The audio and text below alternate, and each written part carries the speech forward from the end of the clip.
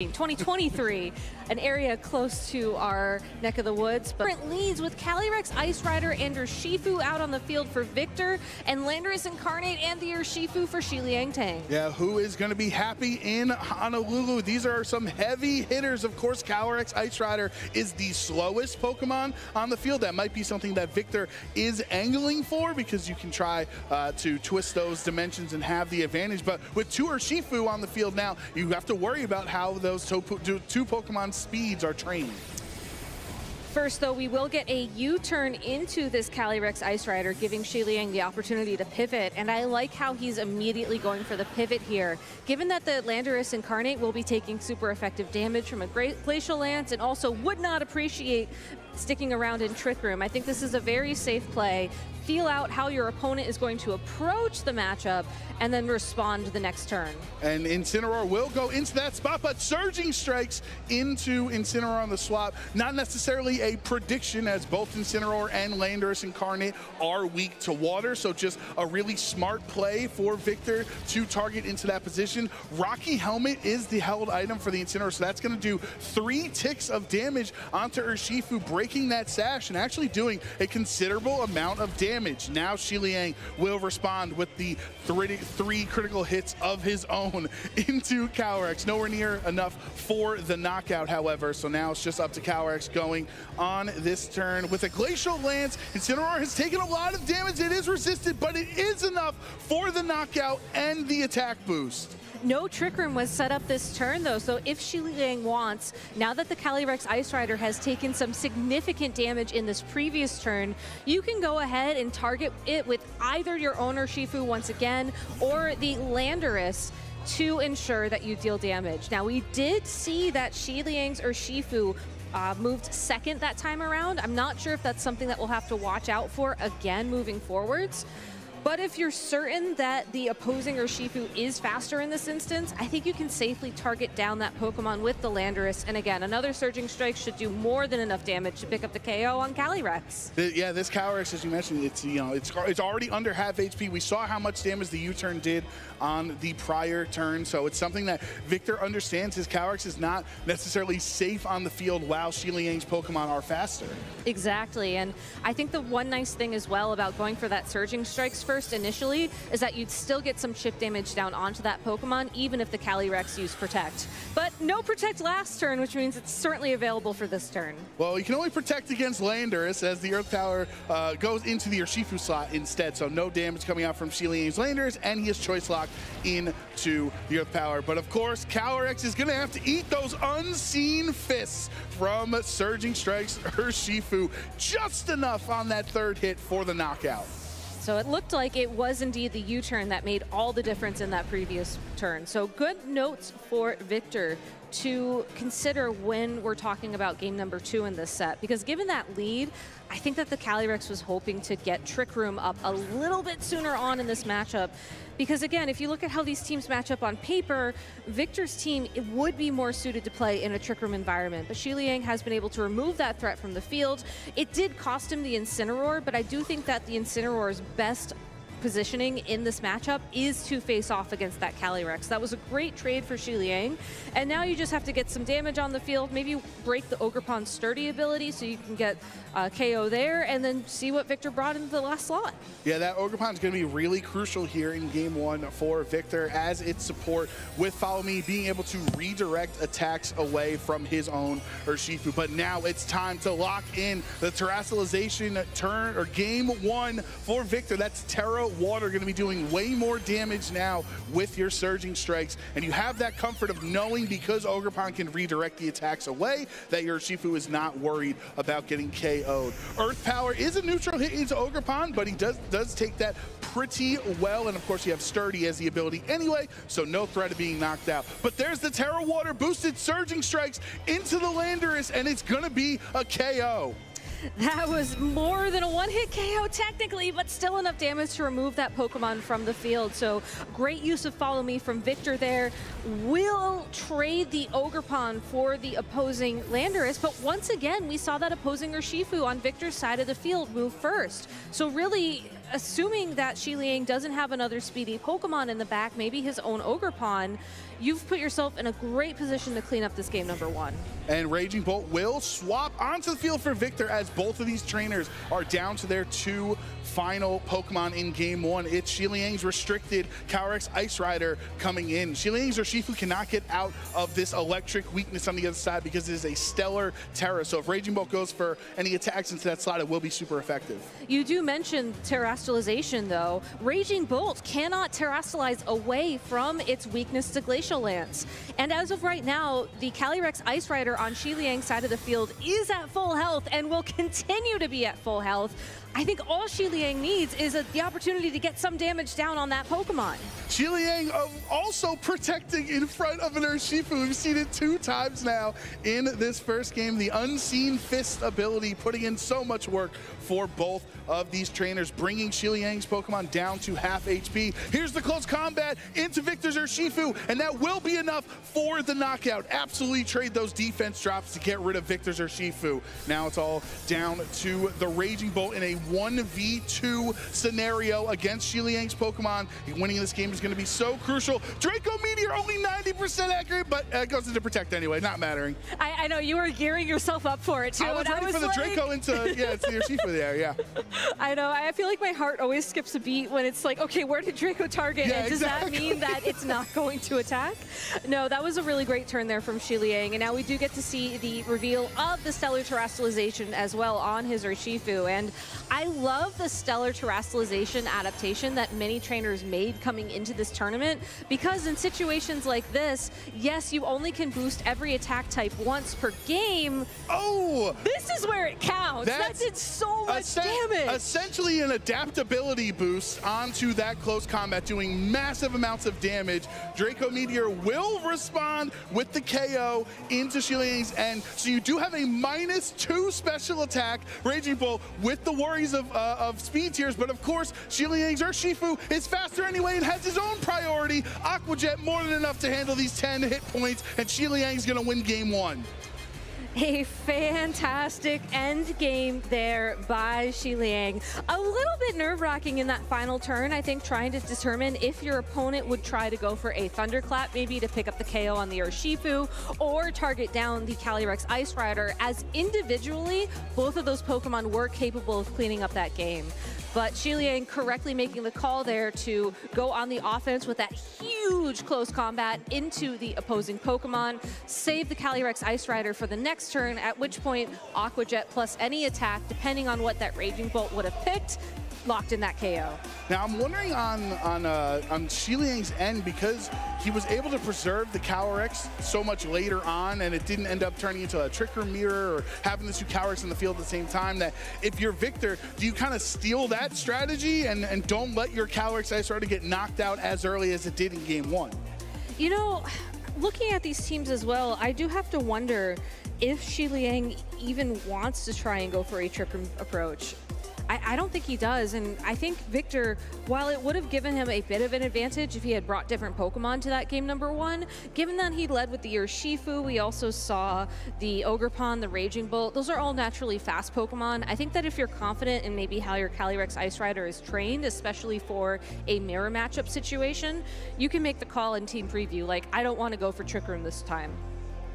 That all being said, I do know that some trainers preparing for the World Championships were actually looking at running more neutral speed Calyrex Ice Rider or even invested speed Calyrex Ice Rider, specifically for situations like this. And given how quickly we're jumping into game number two here, I think both these trainers have their game plans ready to go. All right, well, Victor's hopes of making top cut here in Honolulu are on the line as he is down a game to Shi Liang Tang here in round 11. Shi Liang with the lead of Incineroar Urshifu. This time, or Incineroar can't take a bunch of damage on the swap in because it's already on the field. It is already on the field, but that does mean it is also immediately threatened by the presence of the opposing Urshifu. So Shi Liang does have access to Fake Out for this turn, but will have to look towards that Pokemon to stop it from getting a really one-turn knockout, at which point the Calyrex could go for Trick Room, could really do what it wants in this situation. Victor going for the Tera straight up on turn one. Waited a couple of turns turns the last game to, you know, kind of see the situations. But here's the Tera Water Surging Strikes right into that Incineroar. You know there's no Sitrus Berry. It's the Rocky Helmet on this time. So Shiliang, is he willing to trade these three ticks of damage from Rocky Helmet to lose the Incineroar? Remember, no fake out on that turn either. Technically, the three hit, one hit KO, however you want to determine it. Always a fun discussion. But regardless, it leads to Incineroar getting knocked out on turn one without really doing anything beneficial for the Shiliang. Now Urshifu's going to respond with his own Surging Strikes. The big question here, though, is what strategy is Victor going to take moving forwards with this Calyrex, as the Incineroar was one of Shiliang's best answers to this Pokemon in game number one.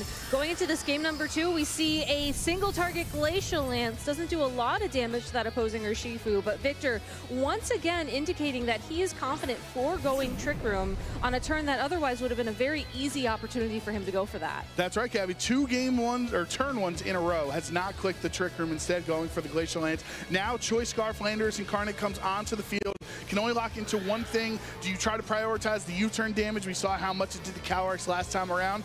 But at the same time, that Urshifu's looking mighty juicy at half HP. That could be a pretty good target for this Choice Scarf Landorus to go into. Oh, smartly, though, Victor having the same concerns we did that his Urshifu looked in a tough spot. So Rillaboom will swap onto the field in that spot. Sandsear Storm hits, connecting onto both. Not the easiest thing to do out of a, a Landorus. And the Surging Strikes follow-up will KO this Calyrex.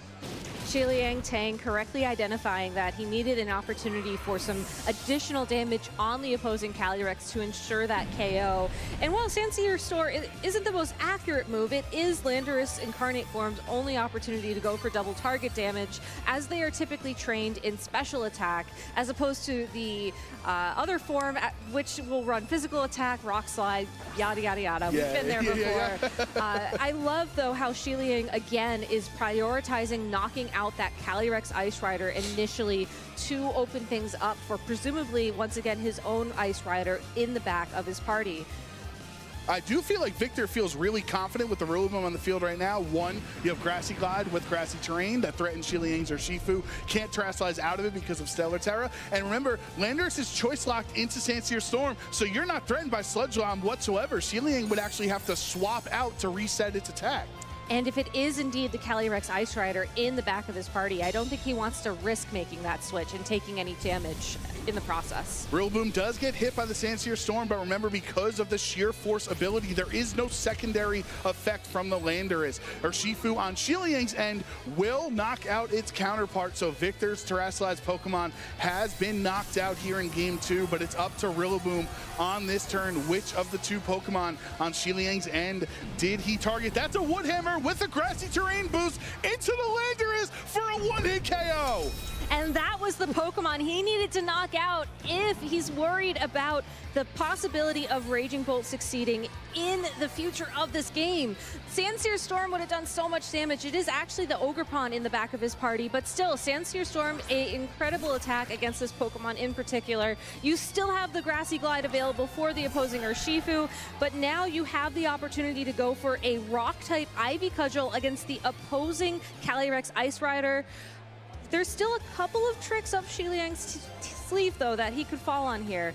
One thing in particular, we have not seen Shiliang Terastallize yet, and this Calyrex Ice Rider is actually Tera Normal. If you were running the standard Tera Fire Calyrex Ice Rider in this position, you'd still be taking super effective damage from that Ogerpon, but you can at least reduce things to a neutral hit, which will sort of, which will open things up a little bit more, but still, Victor has found an out here to chase to bring us to a game three. Yeah, I think that Tera Normal here we're going to see from Shiliang can be crucial because it was set as a Calyrex Shadow Rider counter, but really it's benefiting Shiliang right now against Victor's team, making those hits neutral instead of super effective. Aqua Jet doesn't do too much damage to the Ogerpon, but the Power Whip into Calyrex brings it down under half HP. Both of these grass types are taking advantage of the grassy terrain, and that's another KO for Rillaboom. Victor, following what Shiliang did earlier on in this game, double targeting the opposing Calyrex and opening up the door for him to stay in this competition. Two grass types against an Urshifu even if it could use its stellar terastallization, it does not have enough damage to take down these two Pokemon. Yeah, that is the absolutely crucial play of this game was Rillaboom one-hitting Landorus because once Sludge Bomb is out of the game, you don't have to worry about threatening Rillaboom anymore. You can stay here and use those grassy terrain boosted wood hammers, and at any point now it's just your Shifu. You can even click Grassy Glide if you want. You still have to be a little bit careful here with how you approach things just to be safe. However, Victor will indeed win that match thanks to the forfeit from Shi Liang Tang. And we're getting game number three in this final Swiss at the World Championships. That's all we can ask for, Gabby. Honestly, game threes are so intense. I can't even imagine what's going through. Their hearts must be pounding on stage. I'm nervous just watching. Well, especially since the matchup is so close. Just like you said, it was the Woodhammer into that Landorus Incarnate that gave Victor Medina the opportunity to fight back. Shi Liang could have very easily made a switch there or otherwise tried to stop that Rillaboom from finding that alignment. I think going into game number three, you have to respect that threat from your opponent as the Landorus Incarnate was a huge important Pokemon for Shi Liang. I don't think you necessarily can comfortably lock into Sandsear Storm, especially knowing that your opponent had two grass-type Pokemon in the back. So going into this game number three, I'm really curious if we're going to see Shi Liang try and preserve that Landorus so that Sludge Bomb is available when you need it. Yeah, I think Landorus Incarnate is in such a difficult position because it is absolutely crucial to Shi Liang's success in this set. And the issue is if it goes down, you're kind of losing a lot of the checks into Victor's team. There is the chance Ogerpon Teal Mask doesn't mind taking grass attacks, right? It takes no. it better than Landorus uh, as a grass-type Pokemon. So we'll see if there are any adjustments in this crucial Game 3, winning in for top cut of the World Championships. Urshifu Rillaboom for Victor, and Incineroar Urshifu for Shi Liang. That Incineroar loves connecting the Intimidate against the Rillaboom. Also, seeing the Rillaboom turn one from Victor will help Shi Liang pivot a potential Landorus Incarnate in the back a bit more correctly. Both these trainers have access to fake out this turn. I wouldn't be surprised if we just see two fake outs thrown in the Urshifu's directions, just because that will stop them from attacking for this turn and then give you a little bit more time to figure out this board state. It would also break the focus sashes as well, so that's something that these trainers have to be worried about. Do you protect on this turn, trying to preserve that against fake out? That's the that's the pressure fake out provides. Exactly, and then you add an additional mind game on top of that of, well, if I think my opponent is going to use Detect this turn, I could try and target down my own Urshifu's attack into that Pokemon. So I think the safest play is to just click Fake Out into the opposing Urshifu and try and power things through. But Shi Liang, I think maybe, assuming the Fake Out was going in that direction, making a switch. Let's see, there is the Ogerpon Teal Mask, the hero of the DLC. From To Honolulu, Shi Liang brings Ogerpon out, and it's Tera Grass Incineroar for Shi Liang in this game. So completely swapping up his strategy from the first two games of this set.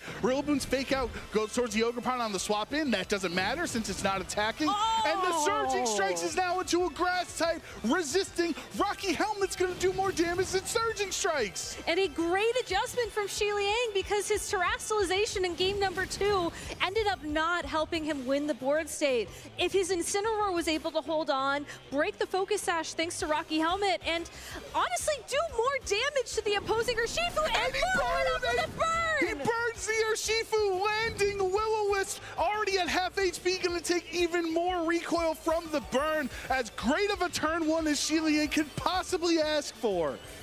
This Incineroar is ready to go on the offense. Honestly, could try and connect another Will-O-Wisp against the opposing Rillaboom as well. If that Pokemon switches out to the Calyrex Ice Rider, it won't be able to terastallize. If you land a bird against the Ogerpon, it's going to have its attack. There is so much opportunity for this Incineroar thanks to that grass type terastallization. The opposing Ogerpon as well could throw a Bullet Seed into the opposing Urshifu, and regardless of what Pokemon comes in, that is damage. Shi Liang has so much momentum in this position right now. And the beauty of Ogerpon Teal Mask on the other side as a grass type with Follow Me is that you're not oh! able... Oh, actually, he's encoring it into the fake out. Encore, the tech that Ogerpon has used, it's probably helped Shi Liang get to this position. Now Rillaboom is locked into fake out, and it's burned!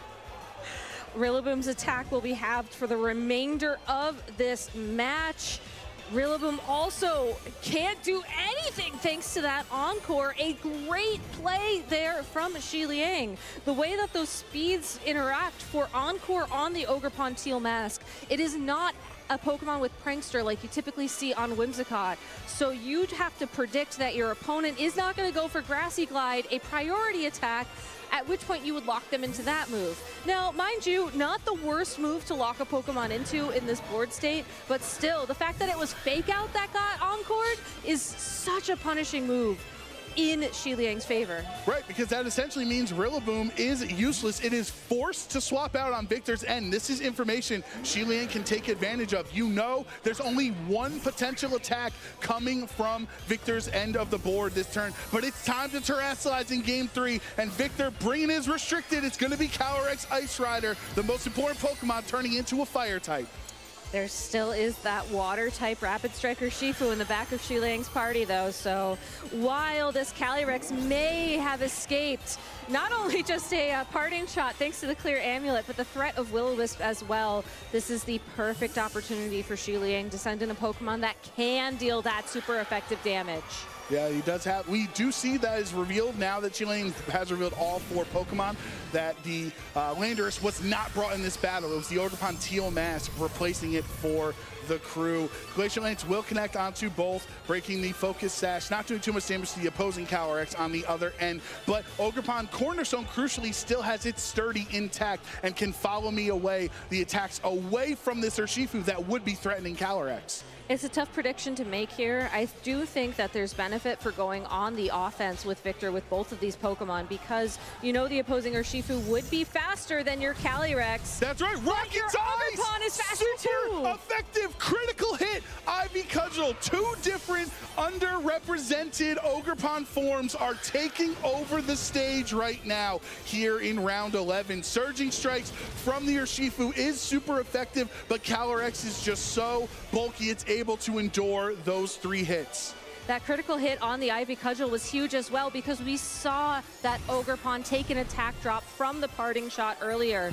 Calyrex was forced to go for a high horsepower just to get a little bit more damage down on that opposing Urshifu, but we've seen how the speeds interact. We know that the Ogerpon Cornerstone on Victor's side of the field would be faster you do have to worry about fake out here if now from out. the Incineroar, but I do think that Victor can simply go for a Protect and a Spiky Shield this turn if Fake Out is what you're worried about you cannot risk switching in your own Ogerpon in this position just because the Calyrex Ice Rider is still on the field and is still able to use Glacial Lance, at least until your Urshifu knocks it out. And Xi has such a, a, strong defensive core. Instead of the Rillaboom being with his buddies Urshifu and Incineroar, it's the Ogerpon as the grass type of choice. Victor's two Pokemon in the back are both burned and physical attackers, so a lot of his damage output has been hindered.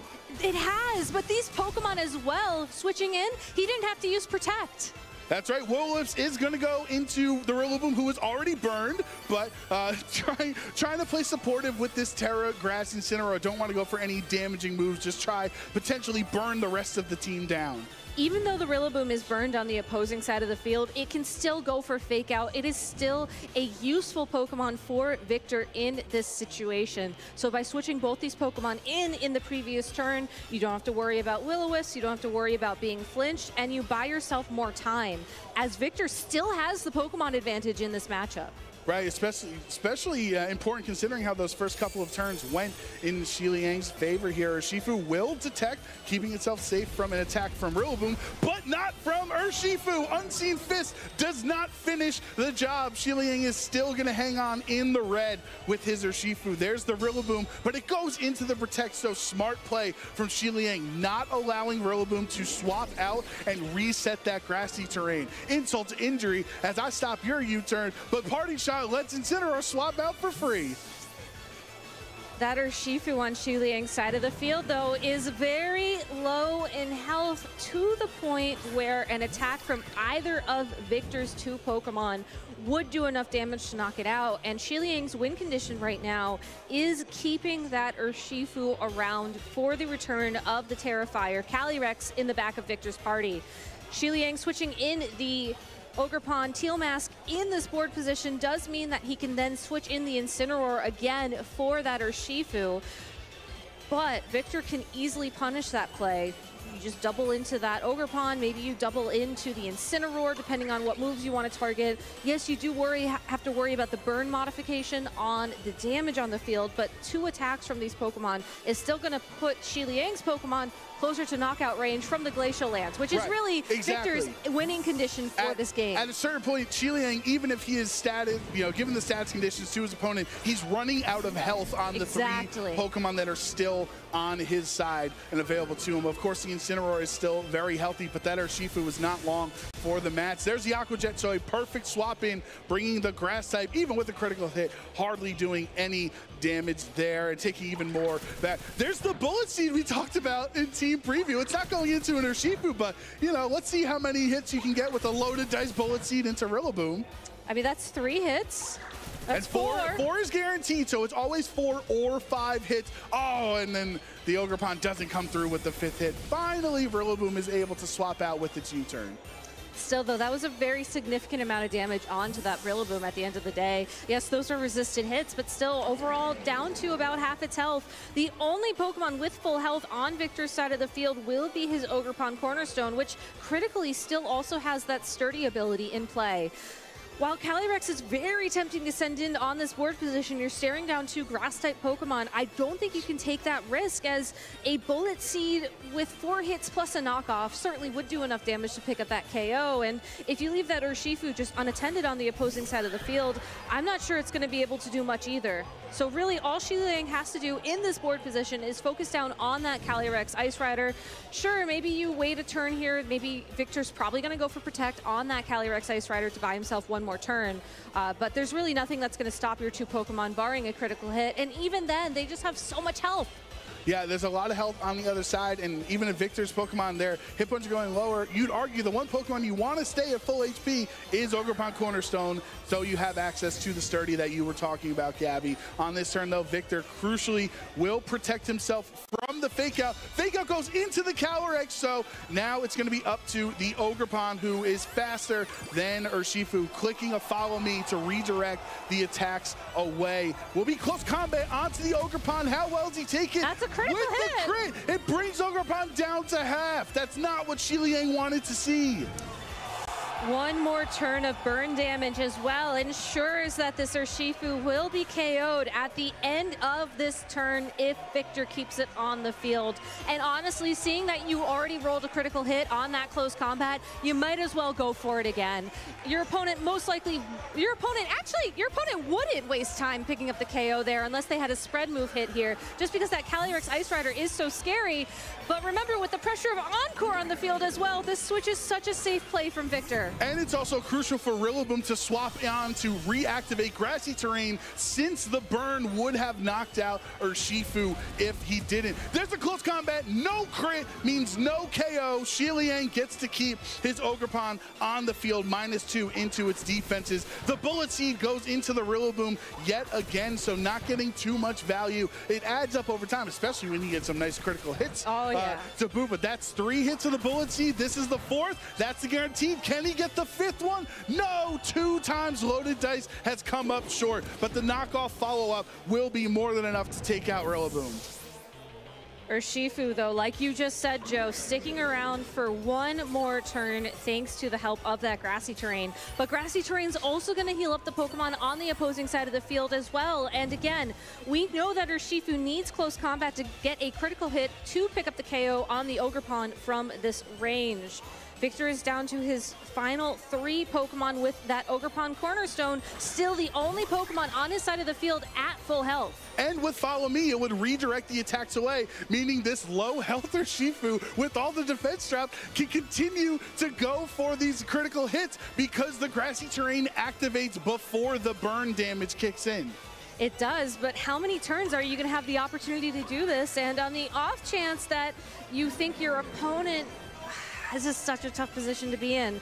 I feel like you want to go for the Ivy Cudgel here just to get the KO on the opposing Ogerpon, to force out the opposing Urshifu, and just hope that you can pick up the knockout Wait, on so it. It's, it's Spiky Shield and Rocky Helmet on the other Oh, end, so no no! matter what Victor targets into, he's going to take the recoil damage and knock itself out there. The close combat does so much damage, but the, oh, it hangs on to the red. I thought that was going to be enough. I thought he got the grassy terrain recovery, helped Liang hang on in that fight there. Uh, the party shot is able to lower the attack even more. He's already been burned. It feels so hurtful to do it there. Uh, but no, the uh, Urshifu actually didn't make contact because it broke through the spiky shield. Exactly. I know that's one of those mechanics Yeah. that you have to really keep queued up and ready to go. But I think more importantly, the fact that we see the Urshifu return to the field on Shi Liang's side of the field, get that little bit of health back, uh, probably to help it try and hold on through an Aqua Jet from the opposing Urshifu in a further end game